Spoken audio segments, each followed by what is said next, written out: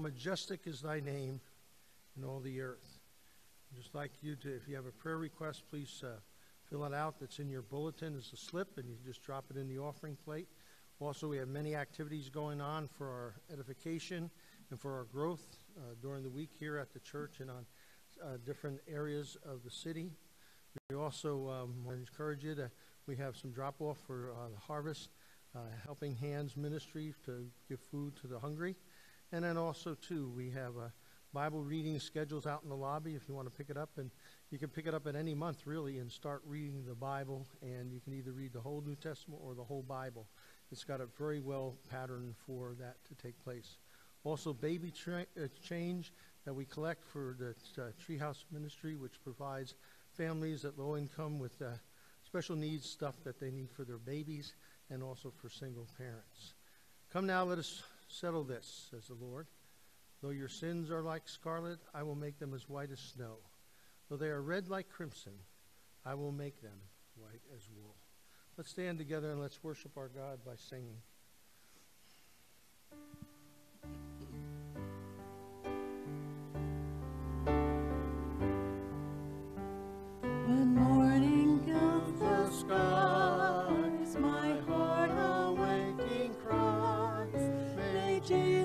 Christ be praised.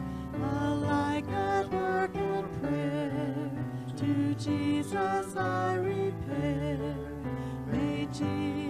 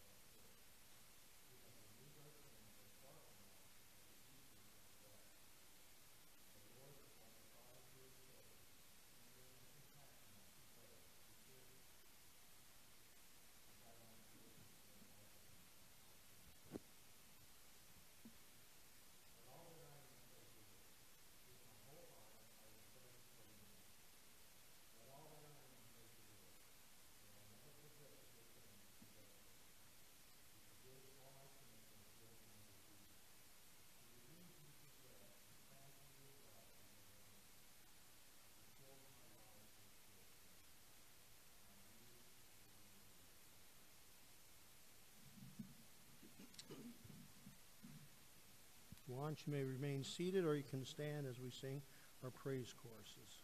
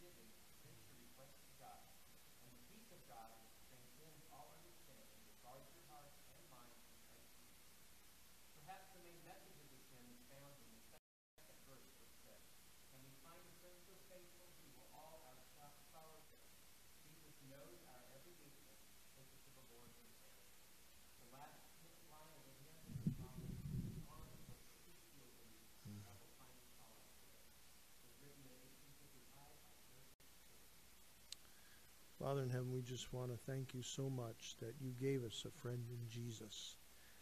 That we can take all our cares and our worries and our burdens to you, and that you carry us through the difficult times of life. I thank you, Lord, for this congregation who's very appreciative and loves you and wants to thank you. Thank you for the gifts that they give, but also, too, for their lives as they share the Lord in their world around them. Lord, bless their gifts now in Jesus' name. Amen.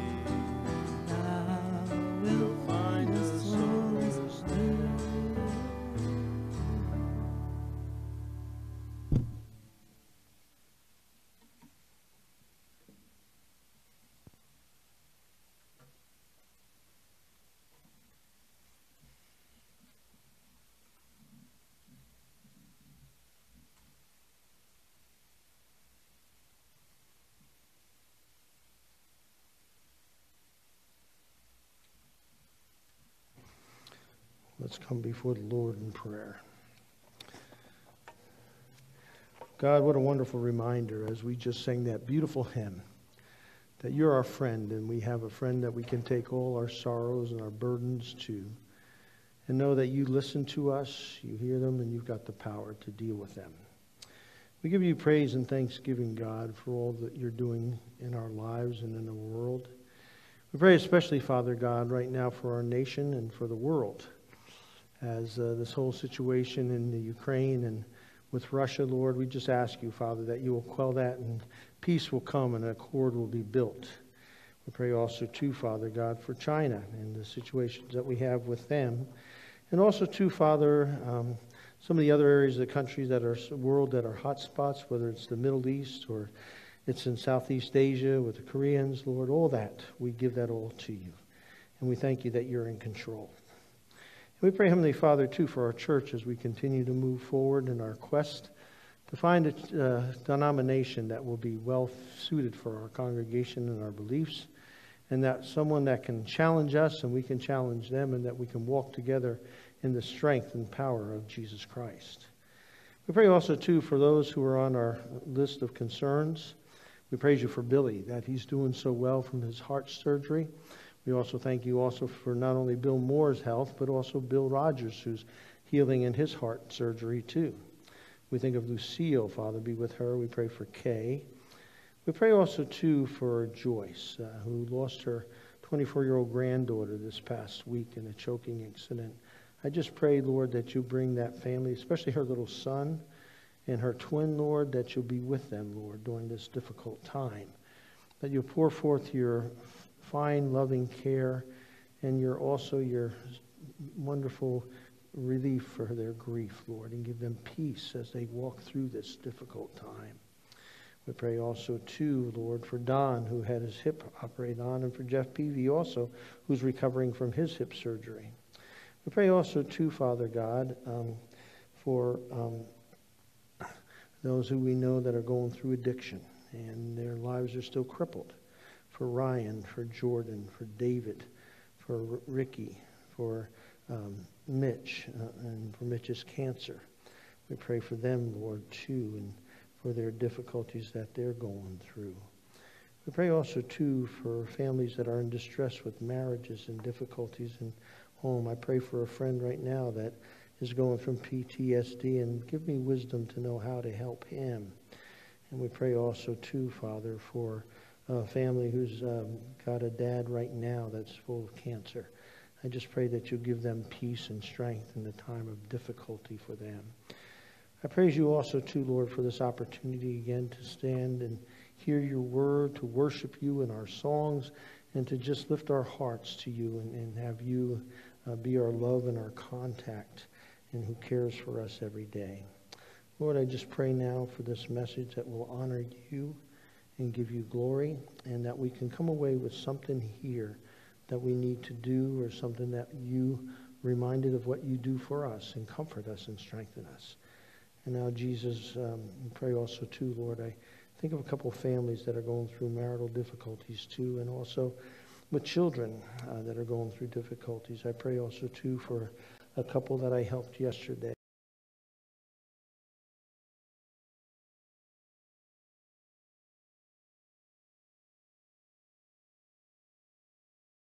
Who told me yesterday they've been celebrating now 60 days of sobriety. We give you praise for that.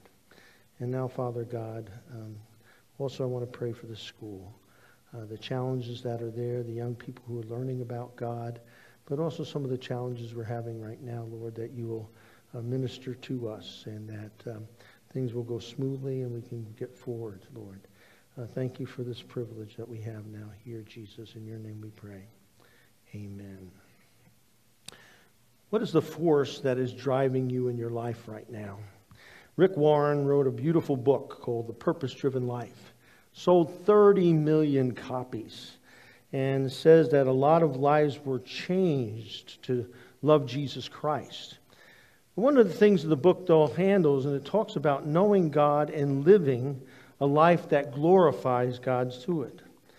Now, unless you know are following Jesus, the purpose driven life has affected a lot of people who don't believe, but there are a lot of people who don't believe it.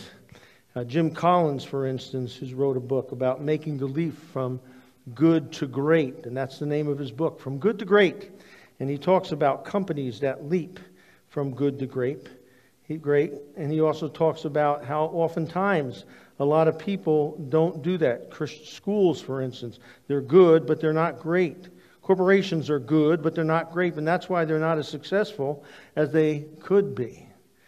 And if we look at that, uh, Dr. Alan Redpath one time wrote about there's two levels of Christian living.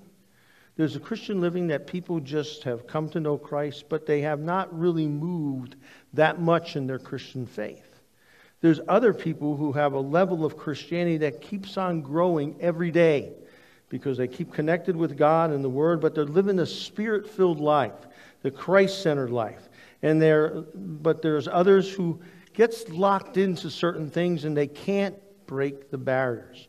Well, today we're going to talk about that with Joshua. Joshua here gives us some insight. We're at the Jordan River, a river of impossibility that most people would say. But here, this is where the power of God really is needed to break through. For 40 years, they wandered in the wilderness, and then they were on the edge of making it, and, and, and they, um, the people of God now are here. They're on the edge of the precipice to go on to the future and to grow in God. Uh-huh. 1.2 million Jews died in the desert over that 40 year period. A whole generation died because they were unfaithful to God and they didn't take God up on it. Well, here we are at the same spot again. They're at the edge of the Jordan River and whether or not to break through. Last week we talked about faith.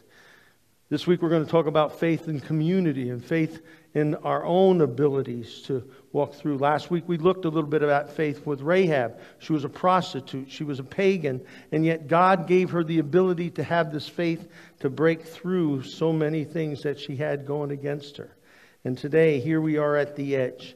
A lot of people deal with stuff in their own lives. A lot of us have things that are going on that are difficult to do. And without faith, it's very difficult to do. And it's very easy to say, let's go back to the safe spot.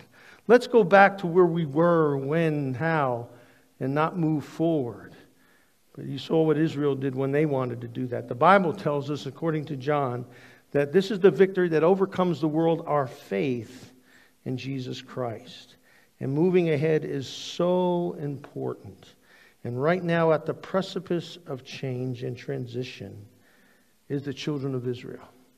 Right now, we as a church in our denomination, we are at a precipice of transition. That's going to be a lot different than what we've known in the past. We're going to make a lot of changes. But one of the things that's good is that we know if we let God lead us, we'll have the victory.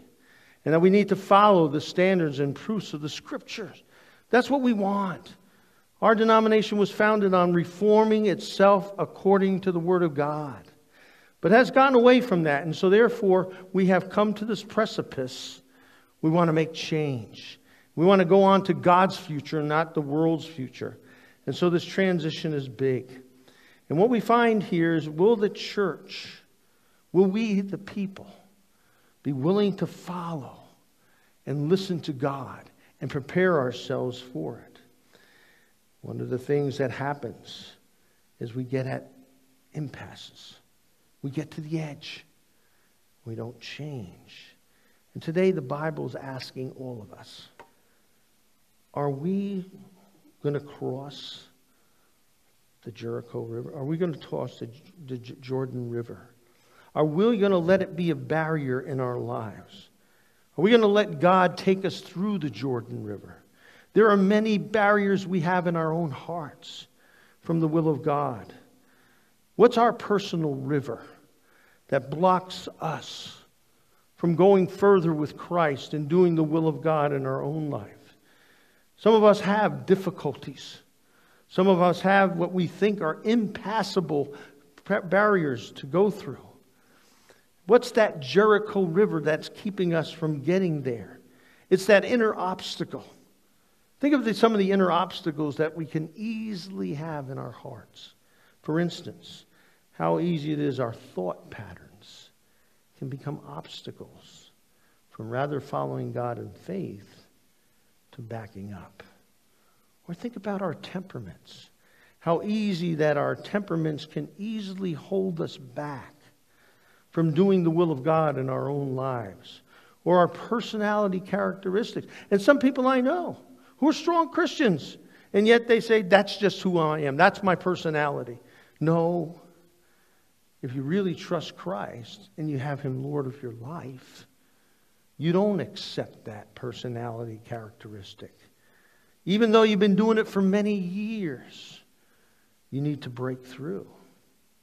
And you need to go through the river and go to the other side and see how it is and begin to follow God faithfully through it. to go through your personal obstacle. Maybe it's somebody in your life that you're struggling with. Maybe it's something that's happening in your life right now. Maybe it's someone who is dealing you're dealing with. You got to break through that obstacle. And how to do that, Jordan begins to speak to us about it. Look what he says. He says, First, get your heart right. Then Joshua, early in the morning, and he and the sons of Israel set out at Shittim. And they came to Jordan, and they lodged there before the cross. And at the end of the three days, notice it's three days, they need to die there first. The officers went through the midst of the camp, and they commanded the people, saying, When you see the Ark of the Covenant of the Lord your God, with the Levitical priests carrying it, then you set out from your place and go before him. He's giving them the pet talk. He wants them to get ready to make this action. But he says, before you do that, however, there shall be between you and it a distance of 2,000 cubits by measure. Do not come near it, that you may know the way by which you go, for you have not passed this way before. And Joshua said to the people, Consecrate yourselves, for tomorrow the Lord will do wonders among you. Here we have Joshua speaking to the children of God. He wants them to hear and understand there's things that need to be done before you cross the river. First, you need to be willing to get up and follow the priest who've got the Ark of the Covenant. Why are they carrying the Ark of the Covenant? Wouldn't it be bulky? Wouldn't it hold them back? No, there's a purpose that God has why they're following the Ark of the Covenant. God has the Ark of the Covenant to remind them that He is present with them, that He hasn't left them alone, and that He will be with them in their guide and will take them through this river. That's a barrier to the blessings that He has for them. His presence is there. In the Ark of the Covenant, you have, for instance, the Ten Commandments. Those are reminders of God's giving us the law to which we can live and love each other and love God. And that how we fail them uh, sometimes and how we need God to forgive us. And that He also provided bread inside the Ark of the Covenant. Remind the people that he fed them in the desert, that the soles of their feet didn't even wear out, their shoes didn't wear out in those 40 years. And that they also, the rod that struck the rock that brought the water out, he provided for them water that they needed every day. He provided the sustenance with them.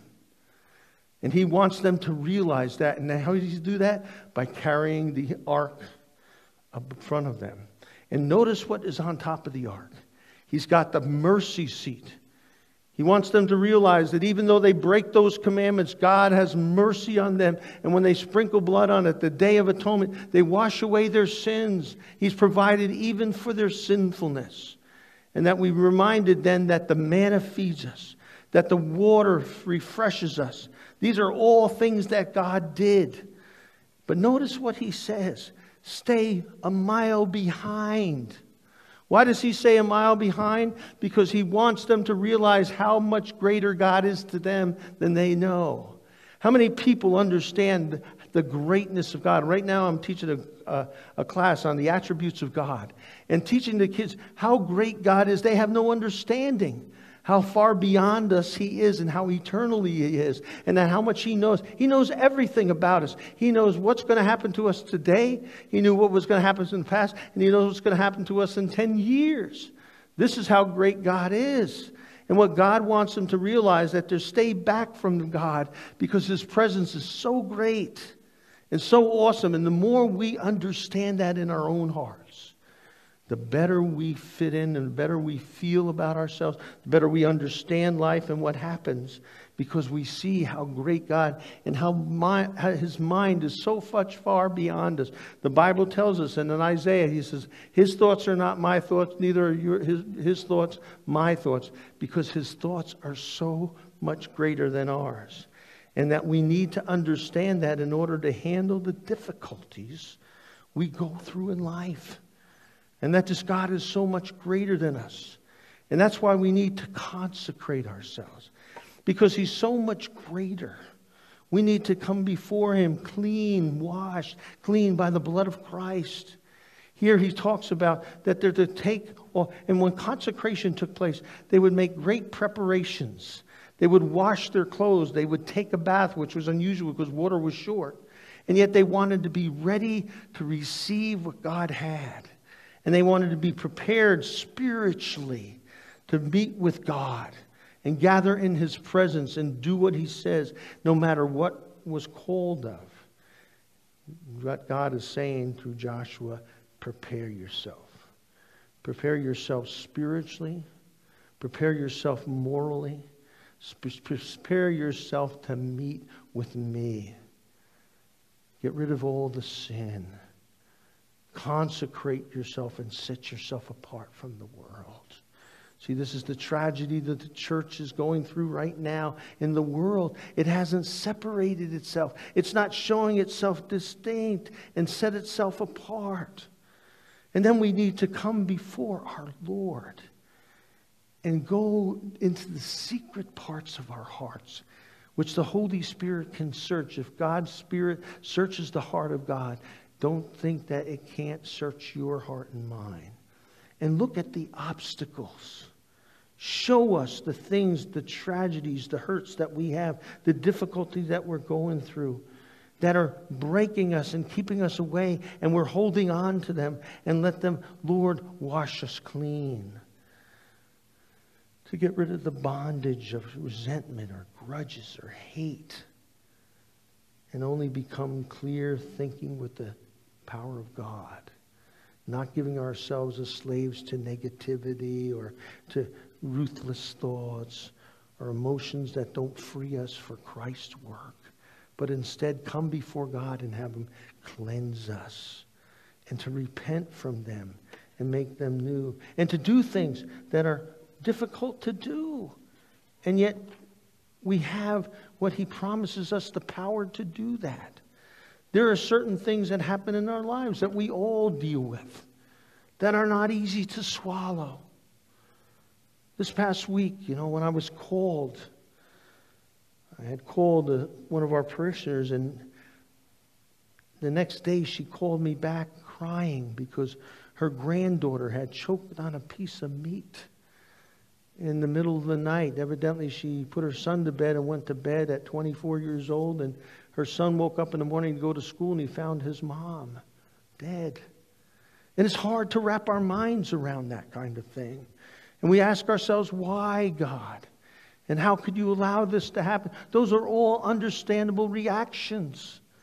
And that's why we need this heart for God to trust Him even when our world doesn't make sense. And put ourselves on spiritual alert and have God work in us to give us understanding and power to overcome these things. To get rid of those sins in our life that easily block us we don't realize, but sometimes even our own sin can block a family.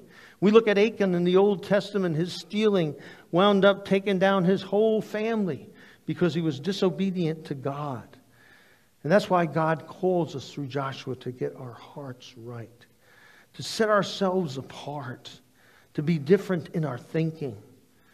And that he sends out these men for three days to make this consecration thing take place. This is important because the things that we face in life are not easy to face. And they can become a block to us from doing and experience God's blessings in the future. Here they are at the banks of the Jordan River, and it's a raging. It's during the harvest season, and the water overcomes the banks. The Jordan River today is not what it used to be like.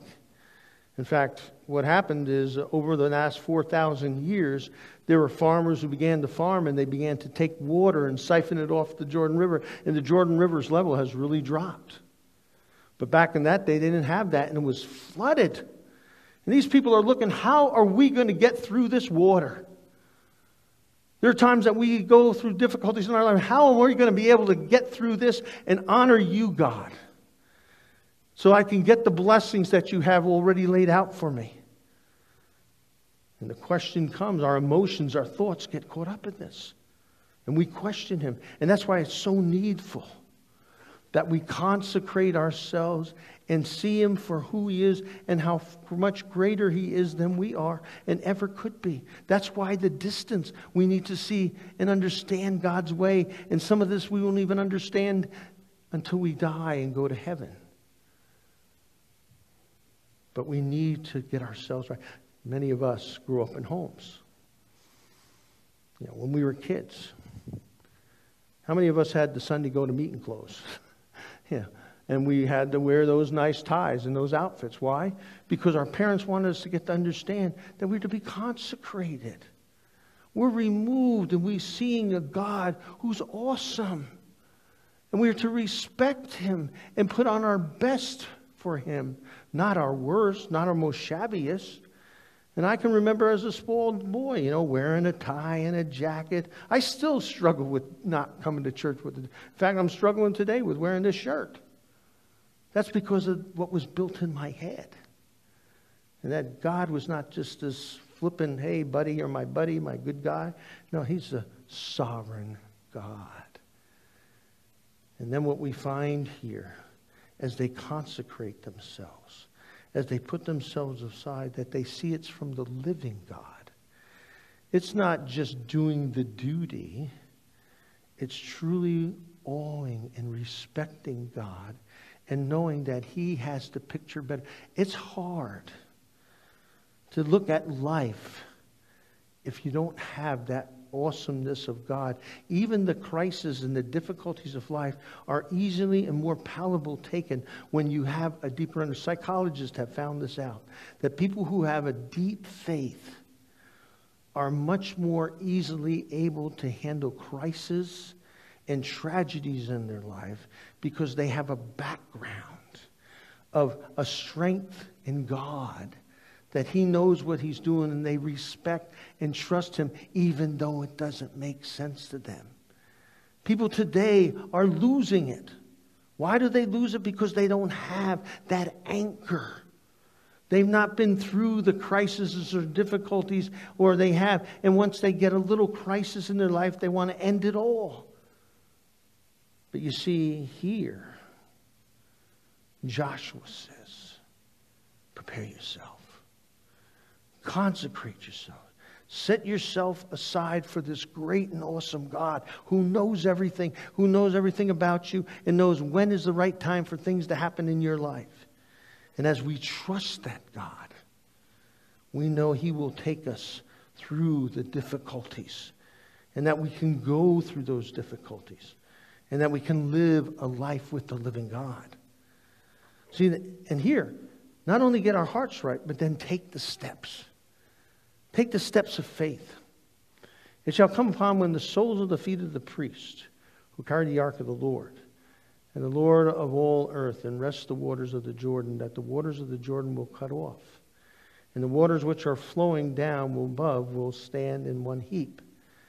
And so when the people set out from the tents to cross the Jordan, with the priests carrying the ark of the covenant before them, and when those who carried the ark came into the Jordan, and their feet of the priests carried the ark were dipped in the edge of the water, for the Jordan flow overflows all its banks and all the days of harvest. So here it is. They're following the priest. They come to the Jordan River and they put their feet in the Jordan River that's swollen with water. You can imagine what they're thinking. How is this going to happen? And here the priests put their feet in, and all of a sudden the waters roll up. The ground is dry. And here they were willing to take the step of faith, these priests. And here God showed them this miraculous parting so they could get through to the other side, to the place where they were promised great blessings from God to enjoy and to find in their lives. And they crossed it. God gave them spiritual maturity more than their forefathers who gave up at Kadesh Barnea and why decided to go back to Egypt and wound up wandering for 40 years. Here, Joshua, his name and really is transliterated in the Greek to Jesus. And here we're seeing that God is already telling us, folks, that we have a deliverer in Joshua and is futurely talking to us about this deliverer, Jesus Christ, who's going to come. And all the things that wrapped around this episode in Israel's history, the three days waiting, all that is contributing to us to telling to us, folks, this is going to happen down the road, and salvation will come to all mankind through this Joshua. Or in the Hebrew, it, it, it's called Yeshua HaMashiach. And it's Jesus the Messiah or Joshua the Messiah. He's coming. And the Ark of the Covenant, He's our Ark who goes through before us and parts the waters in our life and takes us out of our sinfulness and wandering and into the promised land. And it's not heaven. You know, many songs were written in the old days of hymns were saying that Canaan or Beulah land was heaven. And that's not what this is talking about. When Joshua takes the people into Canaan, he takes us into the spirit filled life in a world that's full of sin and struggles and difficulties. When they walked into Canaan, there were battles, there were obstructions, there are all kinds of things going on. And God is showing us how we are to live as Christians in a world that's fallen that's filled with obstacles, that's filled with things that will try to derail your Christianity and how you need to trust and follow Christ. You see, that's the beautiful part of this. It's showing us how to live. And it's telling us that God has things. Once we cross through it, once we get through our barriers, once we get through these things and give our lives to Christ, and we get to the other side, there are still going to be trials and tribulations and difficulties, but God will grow us and give us the strength and the power spiritually to be able to deal with those things. That as we're filled with the Holy Spirit and we rest on Him more and more, He will give us the strength to go through it. This Canaan. And there's battles right off the bat. But you see, the Bible promises, and God is promising us through this, that He has already made provisions for us to deal with these things and given us the power through His Holy Spirit to deal with these things. It's kind of like the other day.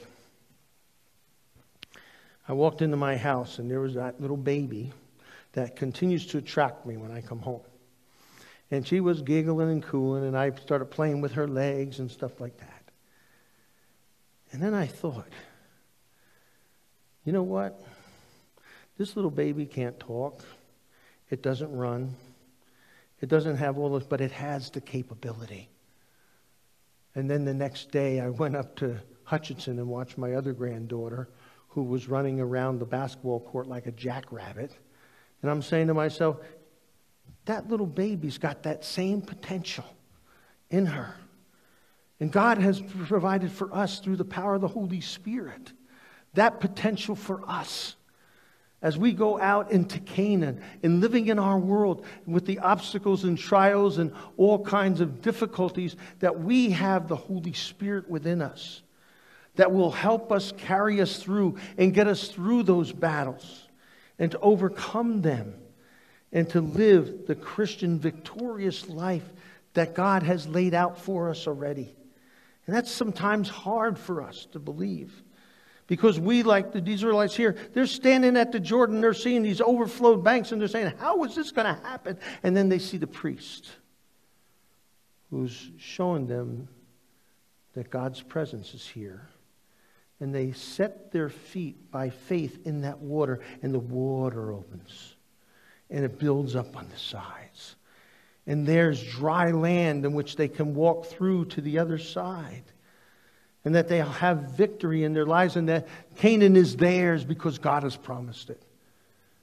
But we need to go through it and not be fearful looking at the water. When is it going to come collapsing on us? But that we know that God has promised us that we will get through safely to the other side. You see, here's the key the world tells us one thing but God tells us something else. I was thinking about this when I was. The song came on the radio not too long ago Bridge Over Troubled Waters. We all know that song, Simon and Garfunkel. And the world tells us that we need to build the bridge over that water. And times are going to be rough. And that there's going to be painful times. And the Bible says to us here God doesn't build bridges over our troubles and keeps us from feeling the pain. God takes us through the waters on dry ground. And we face those trials and we deal with them in our faith and trust in Christ. And that we know we have the power to overcome them.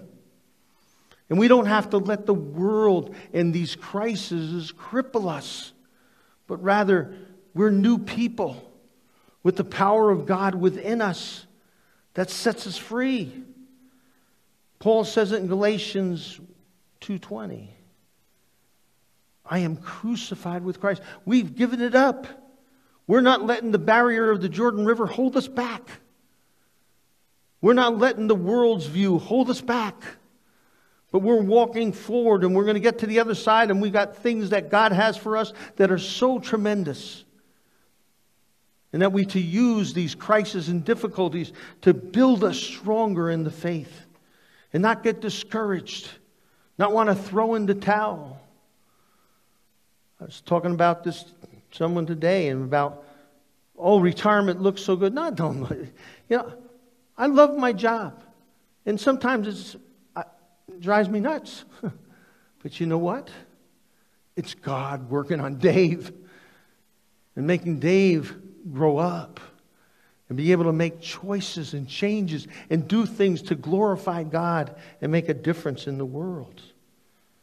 That he keeps on moving, not lays down and gives up, but to take the steps across the Jordan River to get onto the other side of the great things God has. It's called the deeper life, a higher life, whatever you want to call it, the spirit filled life. Because the more we go through those things, and the more challenges we accept by faith and we go through them with God, the stronger we get, the stronger our relationship to God is, and that we really come to appreciate Him more and depend on Him more. That's the victorious life in Christ we have. Or we can throw in the towel and just try to lob through life. No, God's got this.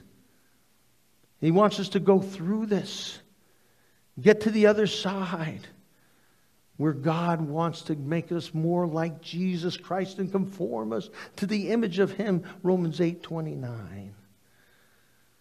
And then He wants us to pass it on. I think this is the tragedy of our world today. I, I was contacted by a friend who wants to know how to share his faith better. And one of the things I want to teach him is the way to do your testimony.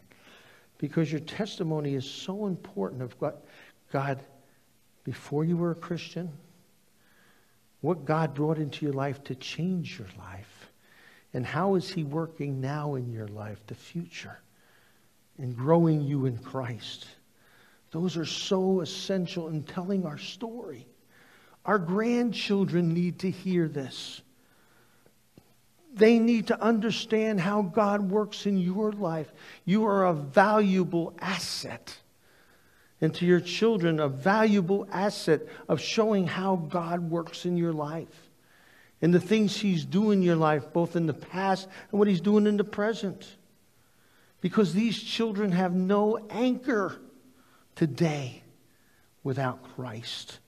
As in every day, but especially today. Some of them don't have any values. And some of the values they were taught by their parents are so bad and wrong. I remember 12 years ago, a friend of mine owned a trailer park. And he had his church do the, the VBS, Vacation Bible School during the summer. 70 kids came. Only two of them knew about Jesus Christ. The rest of them knew about Jesus Christ by the words were used as Jesus Christ is the curse word, but not know him about God. and you know what kind of kids we're raising today, or we see that are being raised today and our kids' need to be protected in the Lord and, and, and, and have the strength because they're going to be tested more than we were as parents and as grandparents. One of my chaplains was coming out of Walmart the other day. And this little girl, 14, 15 year old, comes out and says, Hey, mister, you want me to do a bop for you? Bop. She said, Yeah, whatever you want, I can go in there and get it for you, and you can pay me half price. She was going to rip it. She was going to take and go into the store and steal, shoplift that item, and have him give her half the price, and so that they both wind up doing good. That's, that's the kind of kids we've got going on here today. You see, and it is so wrong. And, and, and yet, uh, you wonder did she figure that out herself? Or I can tell you of situations that I know, and there's people, um, Scott could probably tell you too, where they would shoplift in the store and they'd use the baby as their way to hide stuff underneath in their carriages. This is the kind of parents that are raising the children today. And we have the greatest voice and we have the way, and we need to let them know this because this is sick. It's destroying our society. There are people who are closing stores because people are just ripping them off. It's a tragedy that's going on in our society today. And here we are. Joshua says, let's pass it on. Thus the sons of Israel did as Joshua commanded and took up 12 stones from the middle of Jordan, and just as the Lord spoke to Joshua, according to the number of tribes of the sons of Israel, and carried them over to the lodging place and put them down there. And then Joshua set 12 stones in the middle of the Jordan to place where the feet of the priests had carried the Ark of the Covenant were standing, and they were there too also. So, what Joshua does, he sets a memorial in the middle of the Jordan River to remind the Israelites to picture in their mind this is what God did and delivered you. Then look what happens. They go to Gilgal, which is right down the street. And it says, those 12 stones which they had taken from the Jordan, they took another set of stones from the Jordan, and Joshua set it up at Gilgal. And he said to the sons of Israel, When your children ask the fathers in the time to come, saying, What are these stones? Then you shall inform your children, saying, Israel crossed this Jordan on the dry ground. You see what God is doing through Joshua?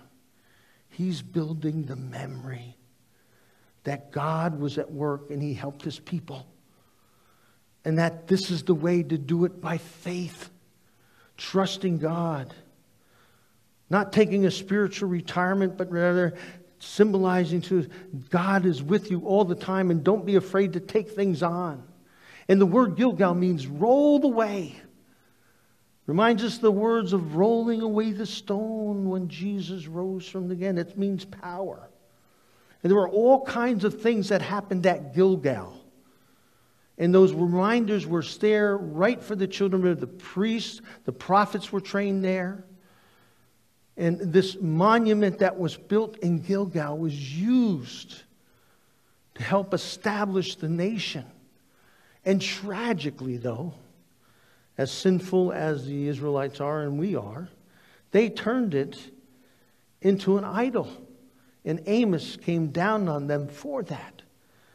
But if we remember, this is the beautiful thing about, you know, what we have at Arlington National Cemetery, the memory and the Vietnam plaque. All these World War, World Two. Remember where we come from and why we have this freedom. And then Joshua is saying, God gave us this. And this didn't come easy, but God was the deliverer and gave us what we have. And He rolled away, He rolled back the waters so we could come into the promised land and receive the gifts that God had already laid out for us and that we could do His will. These are spiritual markers to the wonderful things God does. And He does it, number one, because it's a remembrance to the whole world that this is the God that we serve. He's not some wooden God that we try to talk to that doesn't answer us. He does things, He changes rivers. This is the God we have. And that we're to teach the children this is the God that owns and runs this world. He's the one who we're to be faithful to. He's the one that we're to teach our grandchildren to.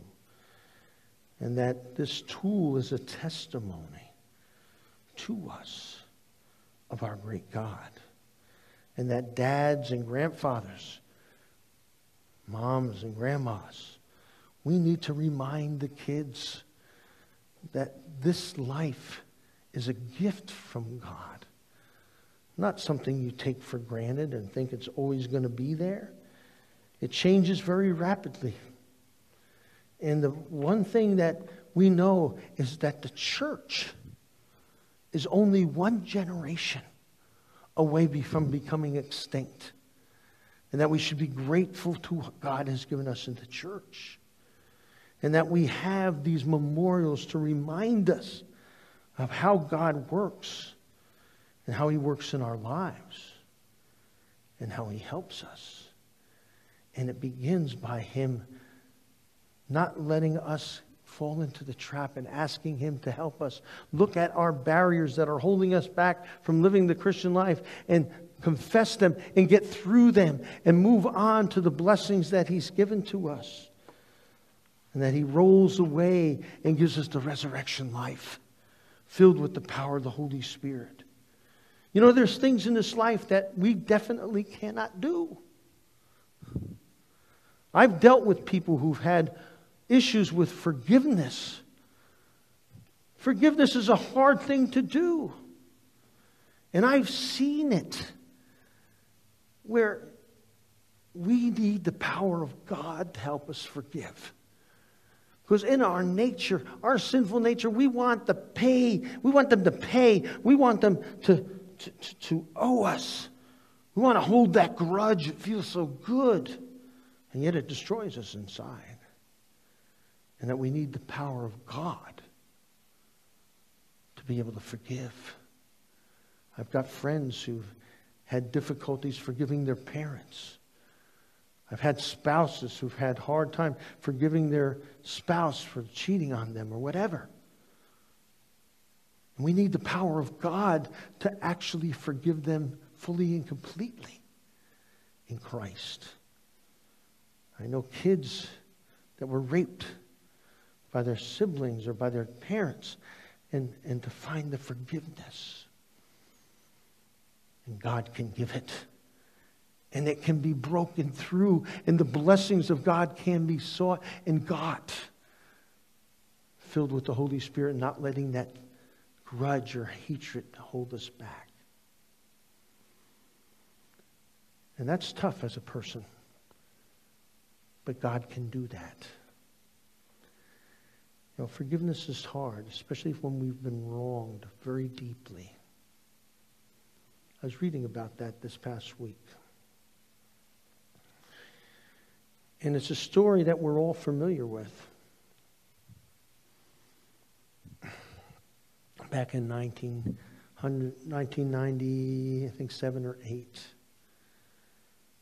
I don't know where you were, but when you heard that the Murrah building blew up. And how many 160 plus people were killed in that disaster. And what had happened, we all saw the story and how it unfolded and how they caught Timothy McVeigh. How it was by a, what some would call a freak accident by a trooper, but we knew God had him caught. And then to watch Timothy McVeigh go through his trial, then and be executed. And when the news broke, a lot of people knew that story. But a lot of people didn't know this story. There was a man by the name of Bob Bud Welch who his daughter was killed in that bombing. As a Christian, he said, I could not get rid of the hatred and the anger and the bitterness that I had towards Timothy McVeigh and his family, even after he was executed. And he knew that as a Christian, that wasn't right. So in 1998, he traveled to Kansas to see Bill McVeigh, Timothy McVeigh's father.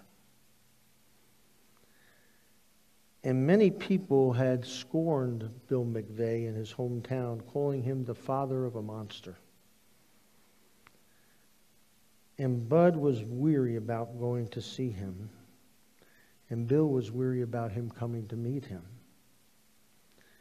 But Welch visited hoping to find some healing from this bitterness and anger he had. They talked about their children, he said, over coffee at the kitchen table. And there on the wall was a high school picture of Timothy McVeigh. Good looking boy, he said to Bill McVeigh. And Bud later said that Bill McVeigh said to me, I am so sorry that your daughter was killed. And Bud Welch said, I never felt so close to God than at that very moment. He said, I felt this heavy burden of relief fall off my shoulders. He said, and then we did this thing, we prayed together. And it seemed like all the bitterness and the resentment left. Here we were, two friends, two children lost. And instead of simply getting healing for me, he said, I believe I brought a, a measure of healing for Bill McVeigh, who was another father who had a heart broken over the loss of a child. You see, God can do that. He can help us forgive even the worst of the worst of things. He can give us the ability. But we need to trust him and follow his lead to get through to the other side and not let that barrier hold us back. To receive God's blessing. And here, give God's blessing to a broken heart too. Let's pray together. Father in heaven, we thank you that you have all this power and that you love us and you care so much for us. Lord God, I pray for anybody here who has a Jordan obstacle in front of them. That, Lord, that you give them the strength to break through that and to follow you through that and gain victory over it. And then, Lord, to take them out as we go and leave this place and show the many blessings that are there still for us to claim that you have out there for us. And that we can trust you, the sovereign Lord, the King of the universe, and that our faith is securely held by you through Jesus Christ. We thank you for the forgiveness you've given us. And we thank you for your love. So undeserving, and yet, God, you loved us from your love and from your mercy. And we're forever grateful. Help us to see you and grab what you have for us each and every day. In Jesus' name, amen. Let's stand and let's close and with our benediction and singing our closing song.